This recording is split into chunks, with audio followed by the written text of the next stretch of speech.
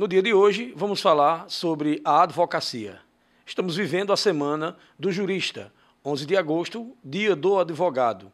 Essa profissão nobre, exercida por aqueles que conseguem alcançar êxito na aprovação do exame de ordem e, doravante, passam a exercer essa tão nobre função, que também é um munus público. A advocacia está garantida no artigo 133 da Constituição Federal, que diz que é indispensável a administração da justiça.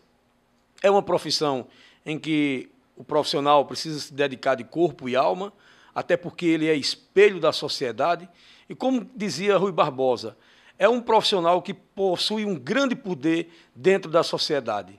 De modo que nessa semana é preciso que façamos uma reflexão do papel do advogado e da advocacia perante a sociedade, as dificuldades, os problemas enfrentados, o papel da advocacia privada e da advocacia pública, enfim, qual o comportamento que o advogado deve ter dentro da sociedade e qual o papel que ele exerce perante a comunidade.